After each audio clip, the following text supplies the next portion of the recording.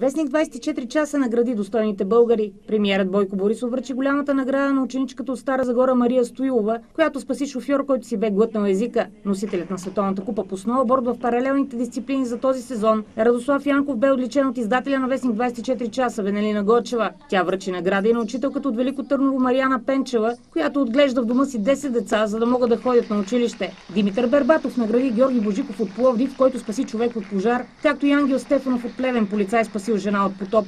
Награда имаше и за футболиста на Бдим Видин Ангел Цолов, който през юли спаси дете на надуваем душек, отнесено от течението на река Дунав.